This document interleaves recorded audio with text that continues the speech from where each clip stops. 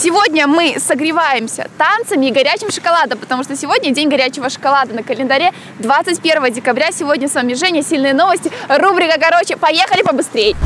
Сильные новости пишут, что с 27 декабря начнется вакцинация детей от 12 до 17 лет от коронавируса. Главное условие – это отсутствие медицинских противопоказаний. И если ребенок болел короной, то должно пройти не меньше полугода. Прививать будут китайская вакцина и Верасел. Как вы к этому относитесь? За или против? В Гомеле парень после ночной смены сел в троллейбус, хотел оплатить проезд одной остановки через мобильное приложение, которое не работало. Подошел к водителю за талончиком, но неожиданно зашли контролеры.